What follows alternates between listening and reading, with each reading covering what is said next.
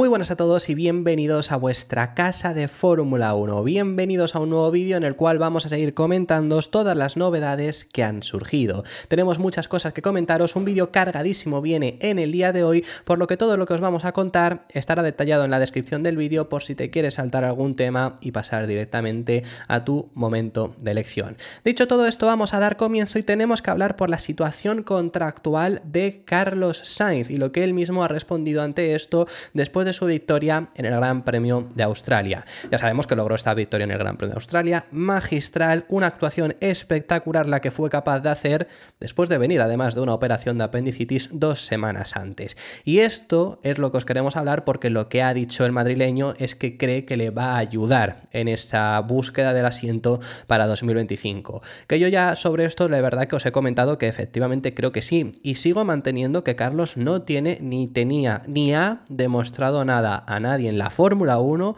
porque sí que lo hemos comentado en otros vídeos, que yo sinceramente sí creo que Carlos está bastante infravalorado por muchas personas del público general, pero dentro de la Fórmula 1 no está infravalorado. Yo creo que desde luego todos los team principal saben de la valía que tiene Carlos Sainz y creo que nadie le infravalora. Pero no ha demostrado nada ni tenía que hacerlo más de lo que ya lo ha hecho durante toda su carrera deportiva, pero que desde luego, y esto lo dice él mismo también, se ha demostrado a sí mismo que esto es algo que ahora ah, lo vamos a dejar aparcado porque ahora quiero comentároslo, pero que se lo ha demostrado a sí mismo y también lo ha demostrado a todo el mundo que si le das un coche ganador, puede ponerse a ganar carreras perfectamente. No va a temblarle nada, no le va a temblar el pulso, va a estar ahí, va a tener el ritmo, va a poder superar a su compañero de equipo. Siga habiendo gente que cree que no iba a superar a su compañero de equipo. Yo creo que esta es una de las duplas más igualadas que hay en la parrilla, pero por ahora en este comienzo de temporada ha empezado mejor que él.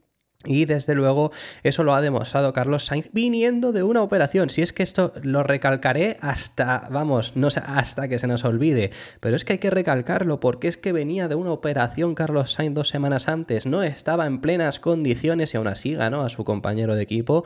Incluso ya vimos a final de carrera sufriendo más con los neumáticos, empezando a... Eh, pero la verdad que esto ya lo explicamos que no es que sufriera tanto con los neumáticos ya en ese final de carrera, sino que sufría más físicamente ya estaba por supuesto cansado y por eso a final de carrera Leclerc le empezó a recortar. Pero es que llegó a estar a 10 segundos casi Charles Leclerc con una estrategia diferente en la que Sainz alargó más sus paradas encima que podría incluso salir perjudicial, aunque te asegurabas por supuesto siempre acabar teniendo mejores neumáticos, pero es que podías hacerlo porque estaba haciendo una carrera muy al estilo Verstappen. Y desde luego que creo que le ponen una mejor posición. Sigo creyendo, os lo hemos contado en anteriores vídeos, en anteriores ediciones, os lo hemos contado esta misma mañana que hemos hablado acerca de Verstappen, que todavía el futuro de Sainz depende de dos pilotos. Primero depende de que veamos qué es lo que ocurre con Verstappen y luego de qué es lo que hace Alonso, porque desgraciadamente para Carlos todavía están por delante porque son dos campeones del mundo, pero de los pilotos que hay en el mercado, que son todos, o sea, literalmente hay seis pilotos confirmados para el próximo año, Leclerc, Hamilton son dos de ellos, Verstappen realmente está confirmado, pero estamos esperando a ver si se desconfirmase para ese próximo año, los dos de McLaren y Russell, son seis pilotos que están confirmados para el próximo año, el resto están todos en el mercado.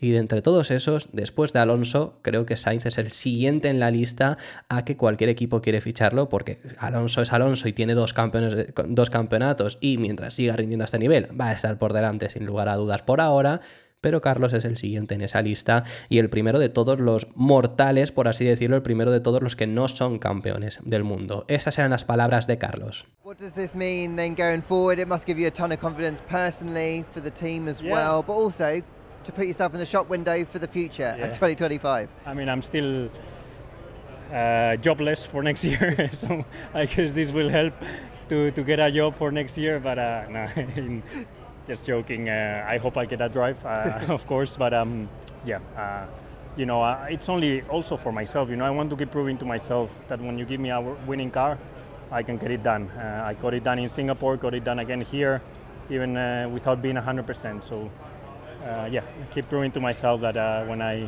when I'm given a, a good car, I just uh, can go and win. Y lo que os quería comentar también, que os lo he dejado ahí, que lo ha dicho el propio Carlos ahora en estas palabras que os hemos puesto, que dijo en Australia, quería comentaros también la importancia de esa mentalidad para el piloto que creo que por suerte, por la fortaleza que tiene Carlos y viendo tal y como ha empezado, no le ha afectado, pero que si lo hubiera afectado no es nada extraño, que es el hecho de la fortaleza mental que tiene Carlos y la importancia que en sí tiene tener esto de que después de que el equipo en el cual has estado depositando tus confianzas, en el cual de verdad tú públicamente has dicho que te quieres quedar, el cual era tu sueño, que es Ferrari, que es que es lógico, por supuesto, no cuente contigo para el próximo año, por mucho que sea porque viene Hamilton, que ya nosotros hemos dicho de por sí que es normal. O sea, quiero decir, es normal que fichase Ferrari a Hamilton si tenía la posibilidad. Y Carlos fue perjudicado pues porque Carlos en ese momento era el único que no tenía contrato. Que si Leclerc no lo hubiera tenido, ¿hubiera sido Carlos el perjudicado? Yo creo que sí, porque Ferrari quiere, por supuesto, mantener a Leclerc. Pero hubiera sido muy difícil la decisión de Ferrari porque fijaros el rendimiento que está teniendo Carlos Sainz. Pero independientemente de ello, después de que eso pase, te quedes sin ese contrato, la importancia que tiene el hecho de fijaros lo bien que sigue rindiendo, no haberle afectado, por mucho que sea este siete veces campeón del mundo y que sea normal de decisión, no haberte afectado el hecho de que no cuenten contigo, no afectarte el hecho de no tener contrato para el próximo año, seguir rindiendo a este nivel, que encima, después de empezar muy bien en Bahrein, tengas la operación de apendicitis, que te puede caer meramente, porque puedes pensar de por sí ya el hecho de volver en, estas circunstancias, puedes volver y pensar en a ver si me va a doler, a ver si no voy a estar preparado, a ver si mil y una cosa. No pensar en ello, intentar sacar el máximo rendimiento posible y fíjate qué rendimiento ha conseguido al final acabar sacando. Desde luego que la mentalidad de Carlos es espectacular. En mentalidad es uno de los... En mentalidad, en, en, en, mente en general, no me salía la expresión, es que no quería decir en mente como tal, pero bueno, me entendéis. En cabeza por así decirlo, mejor dicho esto, en cabeza, es de, los mejores pilotos de la parrilla. De los tres, y a lo mejor no es el tercero, a lo mejor tampoco es el primero, pero yo diría que a lo mejor el segundo mejor de la parrilla en cabeza lo puede ser porque es que es espectacular en este sentido. Así que muy bien en ese sentido por Carlos. Por cierto, os queremos comentar una cosa también de... Os queremos enseñar el Power Ranking Cups publicado la Fórmula 1 hoy. Lo vamos a dejar al final del vídeo porque, bueno, sale Carlos, por supuesto, ha ganado la carrera, tenía que salir, pero me ha parecido... Hay muchas cosas en ese Power Ranking que hay que comentar y lo dejamos para el final. Lo último a comentaros acerca de Carlos también es que ha hablado Alexander Albon. Albon es una persona que en este proceso de recuperación del piloto madrileño le ha ayudado mucho porque Albon pasó por un proceso muy similar, exactamente igual al que tuvo Carlos hace dos años, en el Gran Premio de Italia de 2022. En aquella ocasión, Albon se subió el viernes a los libres al Williams, el sábado en clasificación fue operado de apendicitis y fue la carrera que debutó de Brice, que encima logró puntuar con el Williams luego en carrera y demás. Esa carrera se la perdió Alexander Albon y dos semanas después regresó a Singapur. Entonces era literalmente lo mismo que intentaba hacer Carlos. No pudo correr en Arabia Saudí y dos semanas después estaba Australia y el objetivo era regresar. Sí que hay que contaros, y esto lo han contado ambos, que Albon, por suerte, esto cada uno lo lleva de como tiene la suerte de que le toque. Albon lo pudo llevar mucho mejor porque de la primera semana ya se empezó a encontrar mucho mejor. En el caso de Carlos, hasta la segunda no se encontró nada bien y en la segunda hubo días que parecía que no llegaba. O sea que encima tiene más mérito la actuación que hizo el fin de semana.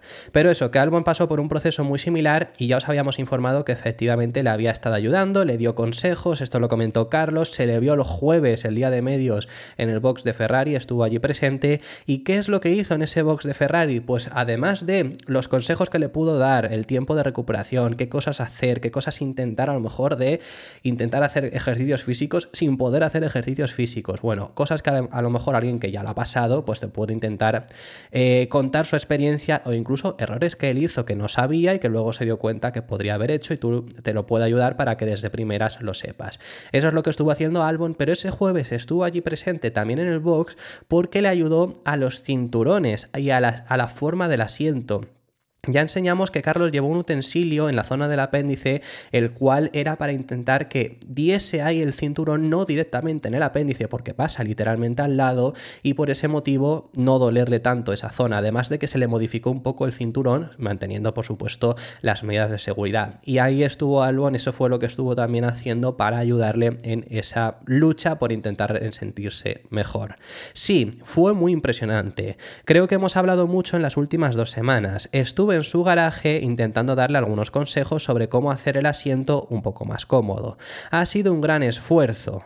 Creo que la gente se olvida de que no solo estás pasando por una operación, sino que no estás entrenando durante dos semanas. Así que acabas en muy baja forma física, así que no es fácil. Estoy seguro de que esta noche dormirá bien. Eso se refería después el domingo, después de encima haber ganado. También Albon ha sido uno de los grandes protagonistas, no por su culpa en sí en ese sentido, sino por, bueno, que la decisión de William que yo ya os dije, ahora os decimos si queréis esto, pero que para mí es la correcta, pero que decidieron subirle a él en el coche de Logan Sargent después de un accidente del propio Albon en los libres 1, ¿no? Eso ya todos lo sabemos y demás, y Williams corrió con un único monoplaza, pero no acabó logrando llegar a los puntos, y esto al final pues también ha sido objeto de mucho debate, porque bajaron a un piloto para subir a otro para llegar a puntos, pero el otro tampoco llegó a puntos, incluso habiendo en esta carrera tres opciones de puntos, porque hubo tres abandonos por la parte de adelante. Esto ha hablado Albon y ha contado las complicaciones que tuvieron que considera que había cosas que no se esperaban que iban a tener. En un circuito en el que esperaban ir rápido les surgió mucho desgaste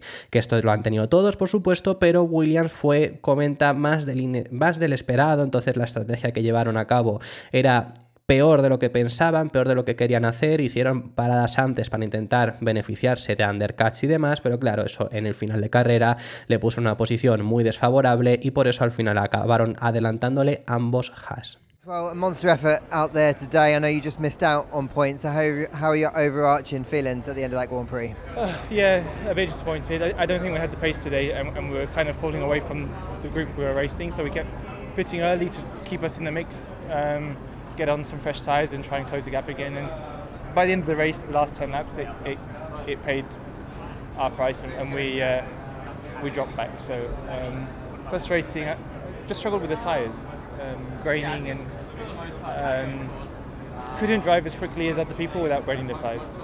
Eso sí, el director de rendimiento del equipo Williams, David Robson, ha hablado acerca de este rendimiento, ha hablado acerca de lo que pudo hacer Alexander Albon, que quedó pues justamente inmediatamente detrás, y considera que si no hubiera sido por haberse pedido los libres 2 por el accidente que tuvo en libres 1, considera que sí que podría haber peleado, no por puntos, por el octavo lugar frente a Yuki Tsunoda. Cree que habría estado en esa pelea, pero claro, el haberse perdido la sesión más representativa del fin de semana de entrenamientos libres, pues hizo que, sobre todo el piloto, que además acabó corriendo, iba a decir el piloto más, eh, el piloto más seguro, pero sí, también, pero bueno, el piloto que al final acabó corriendo la carrera no tenía esos datos y no sabías cómo iba a funcionar. Independientemente de esto, y por si queréis saber mi opinión, que ya en su día ya la di, pero el hecho de cambiar a Sargent por William, eh, por Albon, por parte de Williams, aunque a Sargent te lo has cargado.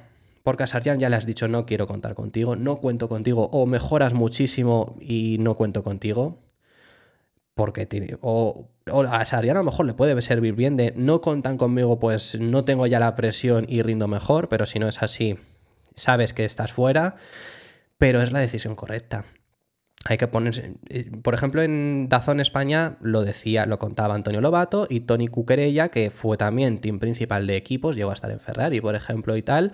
Eh, lo decía, dice, vale, pero sí, si desde fuera es una injusticia tremenda para Sargent, pero ponte en esa situación también. Ponte en la situación de que eres un equipo de que no llegas a puntos, crees que puedes llegar a puntos y al final estuvieron peleando por puntos. Puedes llegar a puntos esta semana, vas a poner a tu piloto que va a llegar a puntos o a un piloto que a lo mejor no va a llegar que a lo mejor llegas a poner a Sargent y llegas, pero las mayores posibilidades las tenías poniendo a Albon. Yo en ese sentido lo entiendo, aunque sea una injusticia tremenda para Sargent y no se lo mereciera, por supuesto. Más allá de ahí, vamos a pasar al siguiente de los temas y nos queremos ir al equipo Aston Martin, porque bastante curiosa estas palabras que ha dado Pedro de la Rosa. Esto se lo preguntaron también el domingo en Australia, le consultaron en qué situación se encuentra Aston Martin, que Pedro de la Rosa este año la verdad que siempre se ha mantenido bastante cauto, siempre ha dicho que hay que mantener los pies en el suelo y además después de esa tres primeras carreras. Esto si queréis lo podemos hacer en el canal. Eh, lo mismo lo hacemos mañana o bueno, a lo largo de esta Semana Santa, pero lo mismo mañana, eh, depende un poco cómo vaya el día de en qué posición creo yo que ahora mismo se encuentran todos los equipos. Pero Después de tres fines de semana ya sí podemos hacer esa situación, porque después de los test no se puede hacer, se puede especular, pero no lo puedes hacer a ciencia cierta. Después del primer Gran Premio tampoco, porque solo llevas uno. Después del segundo puedes empezar a hacer esta imagen, pero después ya del tercero, habiendo tenido tres circuitos tan diferentes entre sí, sí lo puedes hacer mejor. Recordar el año pasado que Aston Martin decía después de Bahrein, bueno, vamos a esperar a Australia porque ya habremos pasado tres fines de semana a ver si vamos bien. Después de Arabia Saudí, otro podio. Bueno, vamos a esperar a Australia a ver si de verdad vamos bien. Y después de Australia, vale, sí, vamos bien.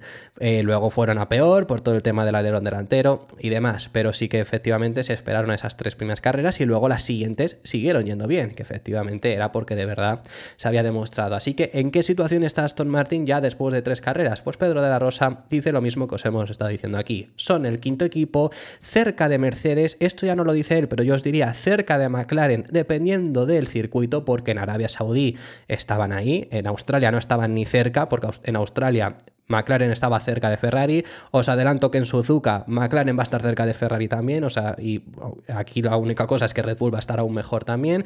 Pero si McLaren no pelea contra Ferrari, estará cerca como este fin de semana. Pero habrá circuitos en los que contra McLaren sí se puede pelear y contra Mercedes en definitiva. Se puede pelear, pero son el quinto equipo. ¿Por qué pueden pelear? Pues lo cuenta también Pedro. ¿Dónde está Aston Martin? Eh, porque parecería que está en el quinto coche, eh, o estamos un poco más adelante. No, no quinto coche, sí. yo, creo que, yo creo quinto coche, pero sí que es verdad que según qué grandes premios, según cómo estamos luchando con Mercedes, ¿no? O sea, en, en, Jeddah estuvimos delante de, de Mercedes, aquí hemos vuelto a estar delante de Mercedes, pero es cierto que aquí eh, si no llega a ser por el, eh, por el Virtual Safety Car, Russell hubiese estado delante nuestro. ¿no? Entonces, yo creo que estamos entre el cuarto y el quinto y tenemos a Fernando también, que quieras o no, pues eh, al final sí, hoy ha tenido la suerte del Virtual Safety Car y tal, pero si no sales con neumático duro y haces una estrategia diferente, no vas a tener y la enganchas a Checo. Exactamente, y te enganchas a Checo, etcétera, etcétera. ¿no? Por lo tanto, es la picardía del campeón, lo ha sabido gestionar muy bien la carrera. Y luego cuando vas fuera, fuera de sync con los otros equipos, los otros pilotos, hay a veces que tienes suerte, pero para eso te la tienes que jugar.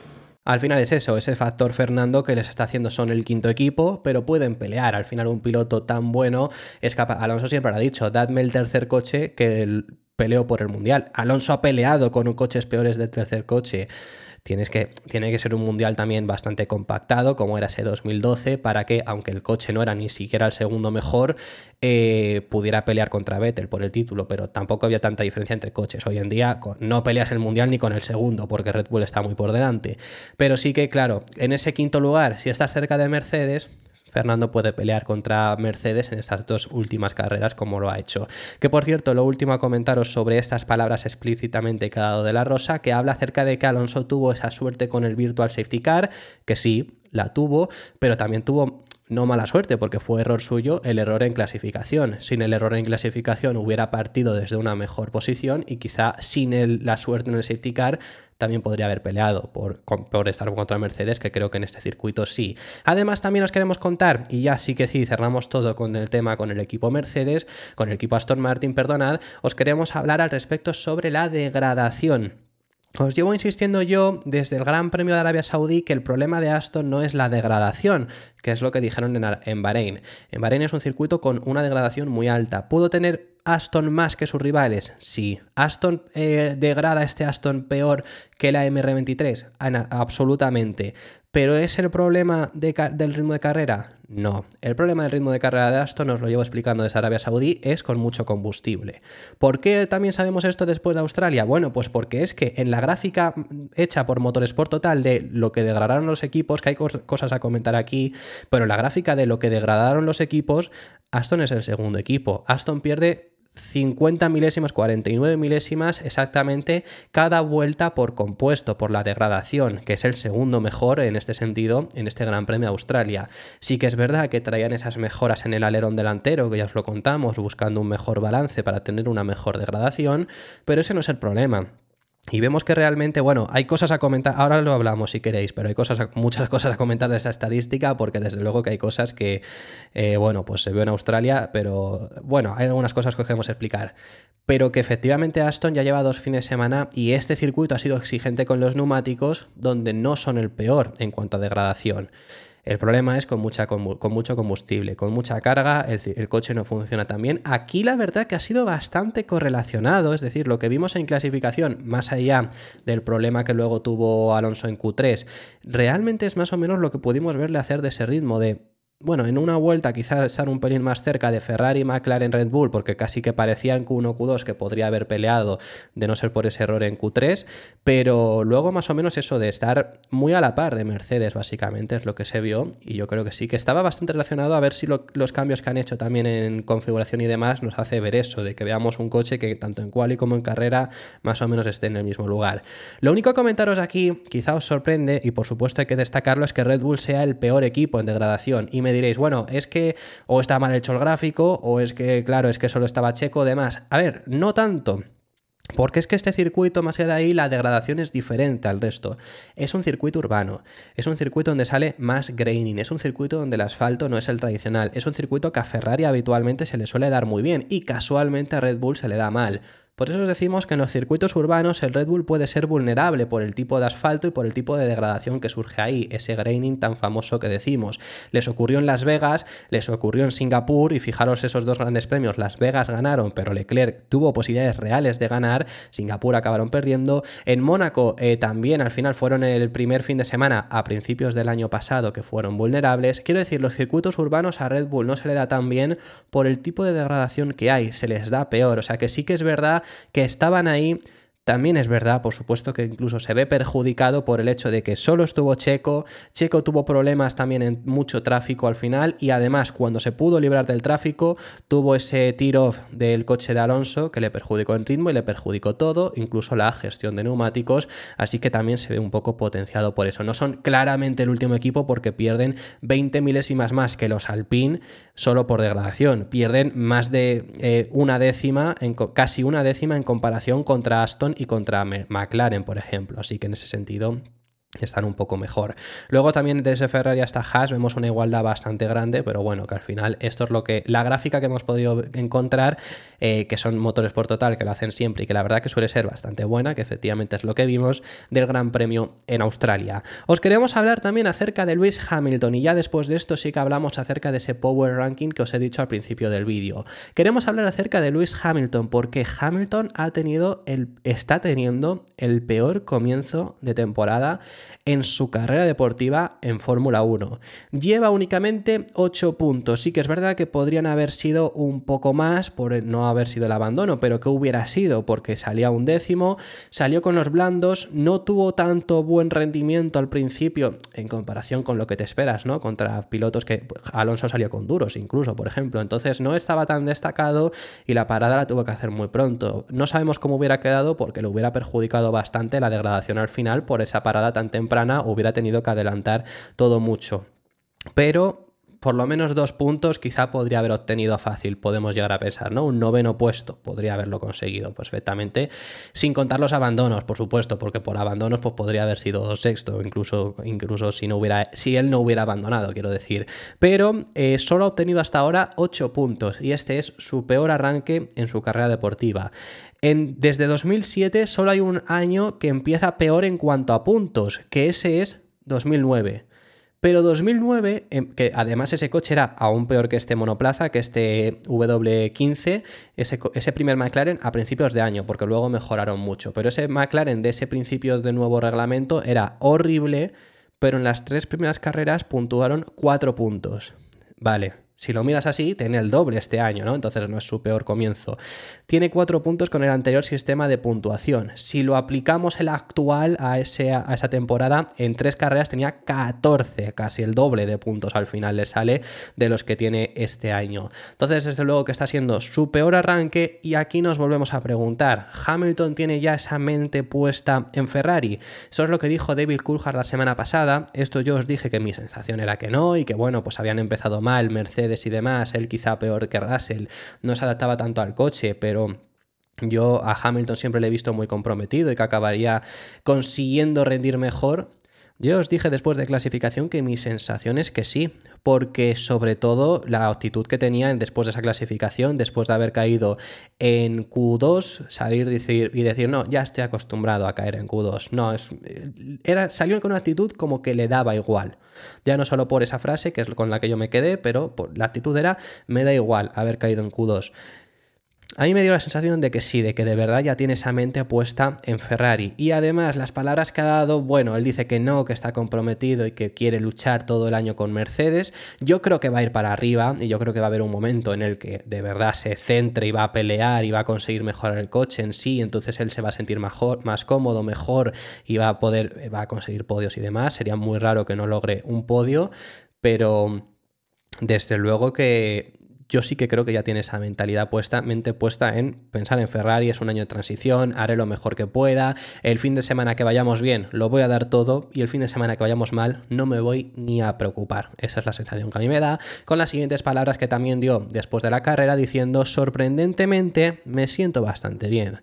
En realidad creo que estoy tratando de mantener todo en perspectiva. Podría ser mucho peor, pero estoy muy agradecido de estar aquí y he disfrutado mucho de mi estancia en Australia. Fijaros como que también en sí se entra en lo que pasa afuera, en su estancia en Australia, más que en sí en la carrera. Sigo disfrutando trabajando con este equipo. Por supuesto, me encanta estar luchando por victorias y terminar las carreras. Y nunca es una gran sensación cuando vienes hasta aquí y no completas ni la mitad de la carrera. Pero lo que es es que nos, hemos, nos recuperaremos, que al final lo conseguiremos. Solo tenemos que seguir trabajando duro. Es fácil dejarse llevar por un momento y centrarse en otra cosa, pero sin duda hay que centrarse en el panorama general. También hay que darse cuenta de que no se puede controlar todo. Te frustra porque no tienes el control de algunas de las cosas. Lo último a comentaros, como os he dicho, es este Power Ranking que ha publicado la Fórmula 1, que lo estamos viendo aquí. No hablamos habitualmente del Power Ranking porque de por sí suele estar muy mal y no me quiero ni meter, son las notas que han dado unos expertos de la Fórmula 1 que la verdad que es que es lo que digo, suelen estar bastante mal y bastantes influidos, pero es que a mí ya este Power Ranking, a mí hay una cosa que de verdad mm, eh, yo he flipado, o sea, de verdad, hay, cosas que no se, ni se explican en muchas ocasiones cuando lo hacen. ¿Qué hace Verstappen ahí? O sea, vamos a ver, tiene Verstappen un 7,2 después de cuatro vueltas, que sí, si esto lo explican siempre, que no es solo la puntuación por la carrera. O sea, se puntúa más, se puntúa por lo menos también la clasificación. Pero en un fin de semana, si hubiera fin de semana el sprint y hubiera ganado la sprint y hace las dos poles, te digo, bueno, puede ser hasta entendible. En un fin de semana normal, por mucho que haga la pole, si completa cuatro vueltas, ni siquiera cuatro porque no llega, bueno, sí, llegó a completar cuatro, ¿Qué hace con un 7,2? Sinceramente. Pero es que, o sea, ya no me voy a ir a pilotos que no están en este listado, que han hecho inevitablemente mejor carrera que Verstappen porque han completado la carrera. Es que Verstappen tiene un sin puntuar en esta carrera porque no se le puede puntuar. O sea, ¿pondrías un 7,2 a Sainz en Arabia Saudí por haber disputado los libres con apendicitis sin saberlo y haber tenido un buen rendimiento? ¿A que no? Pues es que es lo mismo, por mucho que sí, que hiciera la pole y demás. Albon hizo mejor carrera, Ocon hizo mejor carrera y cualquier piloto que no esté en este top 10. Y ya que nos hemos metido en faena, ya que nos hemos metido en esta jarana, sí que decir, me parece genial y me parece correcta la nota del 10 de Carlos Sainz, pero claro, ha habido mucha gente diciendo, sí, Sainz se merece un 10, pero las veces que Verstappen ha hecho un gran chelem, que es liderar todas las vueltas, salir desde la pole, eh, llevarte la vuelta rápida, ha ganado la carrera, eso es un gran chelem, y además además en ese Gran Chelem le ha sacado 30 segundos al segundo, ¿no se merece también un 10? Porque es que hay veces que efectivamente no se lo ponen. ¿Por qué? Porque es que tiene el coche para ganar en sí, no se lo merece después de haberle sacado 30 segundos al siguiente posicionado, que seguramente además en esa carrera ha sido Checo. también se lo merece y eso hay mucha gente que lo está criticando y efectivamente creo que tiene razón. Pero que Carlos se merece el 10, por supuesto que sí. Norris en esa segunda posición, sí, me parece que lo puede merecer. Sunoda y Hulkenberg que tengan un buen puesto, pues también, por supuesto. Aquí llegamos al otro punto de conflicto. La verdad que Piastri por delante de Leclerc no lo llego a comprender, sinceramente. Piastri tiene peor clasificación y e incluso con un Norris que clasifica en clasifica sale tercero, clasifica cuarto. Le, eh, Piastri clasificó sexto, salió quinto. Leclerc clasificó un puesto por delante, salió un puesto por delante, porque sabemos que ganaron una posición gracias a la penalización de Checo. Y es que luego Leclerc acaba en el podio. No creo que Leclerc es que a lo mejor la nota me vale que sea justo a la inversa, pero Leclerc mejor carrera que Piastri la hizo, sin lugar a dudas, y diría que mejor que Hulkenberg y su nada, pero bueno, vale, mejor que Piastri, por lo menos sin duda. Luego Magnussen ahí está bien, Albon no está mal, desde luego que no, eh, Ocon Ocon hizo buena carrera, Ocon podría haber peleado por puntos si no llega a ser porque tiene un problema y en parada se le tienen que quitar un tiroff y demás, eso lo ha explicado él, ya os lo contaremos en el canal, pero se le quedó estancado un tiroff en el freno y se lo tuvieron que quitar en una parada y perdió mucho tiempo. Pero, pero eso son cosas que pasan también y hay que contarlo. No sé, estás valorando la carrera y la posición en la que ha quedado, el rendimiento que ha tenido. Bueno, no sé, puede estar bien, pero a mí me faltan me falta un piloto especialmente que, claro, está perjudicado en todos los rankings que han hecho todos los medios británicos, incluido la propia Fórmula 1, que ya sabemos que es británica, por, porque ha sido sancionado por algo que me parece injusto, que lo hemos contado en el canal, involucrado con un piloto británico. Pues ese ha sido perjudicado, pero es que para mí la carrera que hizo Alonso saliendo décimo, yo es que sobre todo evaluó la carrera, por supuesto, aunque evalúen todo, porque si quieres, vale, pues perjudícale porque tuvo un fue error suyo lo que le ocurrió en clasificación. Pero salir décimo, quedar sexto con el que es el quinto coche, que estás para ser noveno décimo, peleando contra Russell, manteniendo posición contra Russell, no quedándote lejos de, de, Checo cuando lo tuviste justo delante, consiguiéndote agarrar al DRS. No sé, para mí Alonso, por ejemplo, por delante de Ocon, creo que sí que hizo mejor carrera, sinceramente. Y como él, pues varios que sí que pueden aparecer en este top 10. Pero bueno, que no nos metemos nunca en el Power Ranking porque nunca quiero meterme, pero es que a mí hoy lo de haber visto a Verstappen ahí con cuatro vueltas de carrera, pues sí que me ha flipado, lo he puesto en redes sociales y todo. Si es que no le doy, los veo pero no le doy importancia, no lo comento en ningún lado, pero es que hoy lo de Verstappen me ha alucinado y quería traeroslo. Así que esto ha sido todo por este vídeo, muchísimas gracias por haber llegado hasta el final del mismo, déjame en los comentarios tus impresiones sobre todos los temas que hemos estado tratando y nos vemos en el próximo vídeo que seguiremos hablando de Fórmula 1.